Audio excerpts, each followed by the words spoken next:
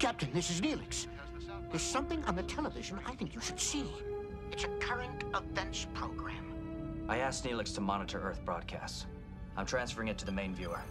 Incredible footage was caught just an hour ago by a man using his camcorder to tape a backyard barbecue.